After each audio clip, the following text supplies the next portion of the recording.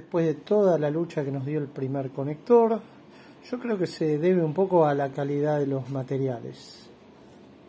Recuerdo haber usado mejor calidad y que eran más fáciles de acomodar, era mejor el conector para meter los cablecitos, los guiaba más, todo, ¿no? Bueno, y esto entra de un solo lado, ven, del otro lado no entra, y apretamos. Apretamos bien.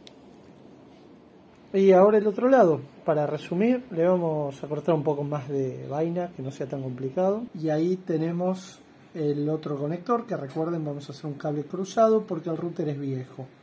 Ahora no necesitan, pero por las dudas como este router es viejo, vamos a hacerlo así.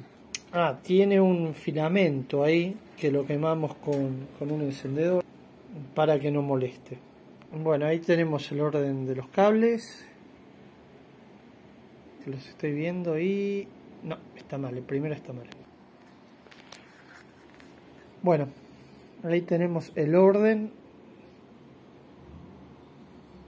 Naranja rayado, naranja, verde rayado, azul azul rayado, verde, marrón rayado y marrón. Bien, ahora lo vamos a poner el conector, lo cortamos un poquito por lo de vaina mientras lo mantenemos firmemente.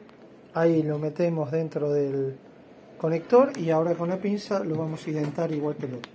Así que bueno, seguimos después con otro video, ya pasando el cable, probando todo y terminando esta instalación. Si funciona todo bien.